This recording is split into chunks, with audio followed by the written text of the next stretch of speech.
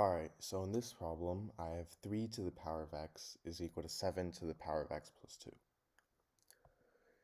So to solve this, first off, if I have something in the form a to the power of m plus n, this is equal to a to the power of m times a to the power of n. So in this case, 7 to the power of x plus 2, I can rewrite as 7 to the power of x times 7 to the power of 2.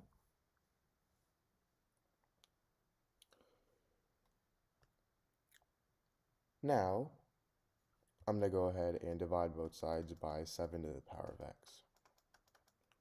So then these two cancel out, and now I'm left with 3 to the power of x over 7 to the power of x is equal to 7 squared.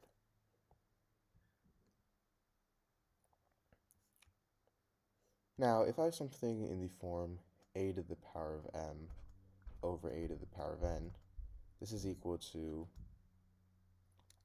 sorry, a to the power of m or b to the power of m, this is equal to a over b to the power of m. So 3 to the power of x over 7 to the power of x, that's going to equal 3 over 7 to the power of x, which is equal to 7 squared. And now I'm going to take the log on both sides, so I have log 3 over 7 to the power of x is equal to log 7 squared.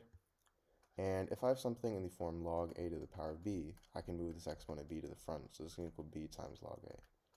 So log of 3 over 7 to the power of x, I can move x to the front, and log 7 squared, I can move 2 to the front. So now I have x times log 3 over 7 is equal to 2 times log 7.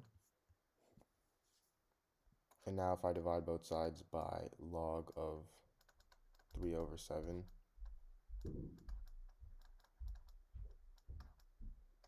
these two cancel out, and I have x is equal to 2 log 7 over log 3 over 7. Now, if I have something in the form log a over b, this is equal to log a minus log b. So log 3 over 7, that's going to equal log 3 minus log 7.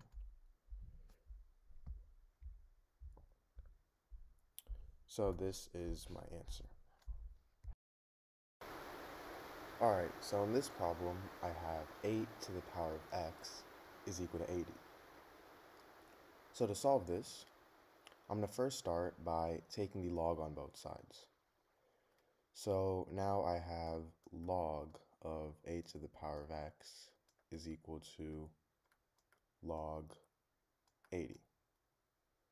Now, if I have something in the form log a to the power of b, I can move this exponent b to the front. So this is going to equal b times log a.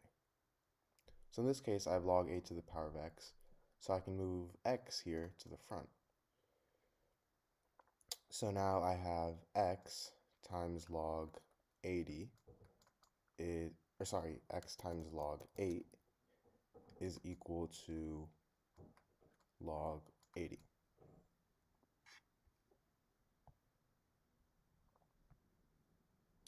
So now we want to isolate x here.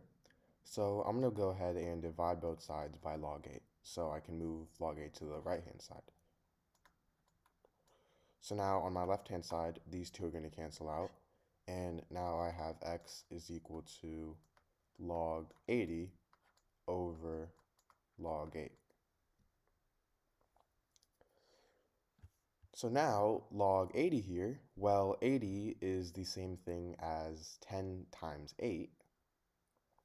So I'm going to rewrite 80 as, or sorry, log of 80 as log of 10 times 8. And if I have something in the form log of a times b, this is equal to log a plus log b.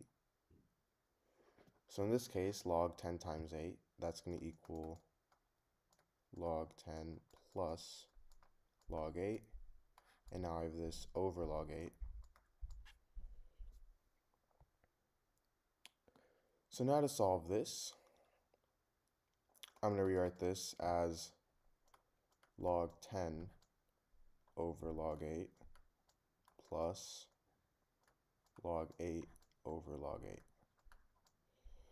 Now, anything divided by itself is 1, so log 8, log 8, those two cancel out. So now I have log 10 over log 8 plus 1. And log 10 is also 1, so I have x is equal to 1 over log 8 plus 1. So log 8, that's the same thing as 2 times log 3. Or sorry, 3 times log 2, which is equal to 2.1074. Alright, so in this problem, I have 4 to the power of x plus 10 to the power of x is equal to 25 to the power of x. So I'm going to first start by dividing all my terms here with 4. 4 to the power of x. So now 4 to the power of 4, 4 to the power of x cancel out. So I have 1 plus 10 over 4 to the power of x is equal to 25 over 4 to the power of x. Now 10 over 4, that's the same thing as 5 over 2. And 25 over 4, that's the same thing as 5 over 2 squared to the power of x. And 5 over 2 squared, that's the same thing as 5 squared over 2 squared to the power of x.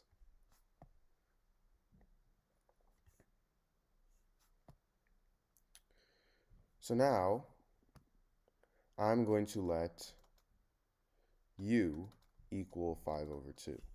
So now I have 1 plus u is equal to u squared. So now if I rearrange this, I get u squared minus u minus 1 is equal to 0.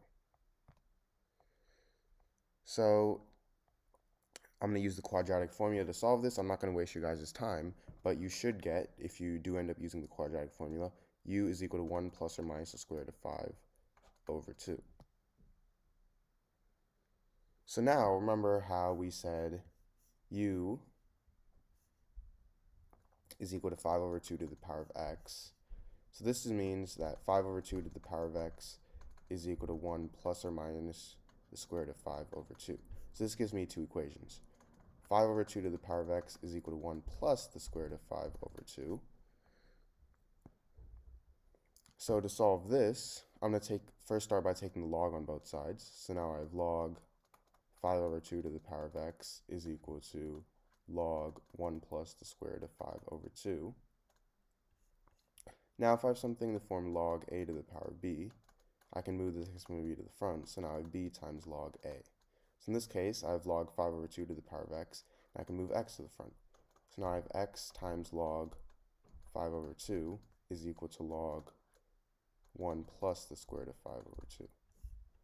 Now we obviously want to isolate x, so I'm going to divide both sides by log 5 over 2.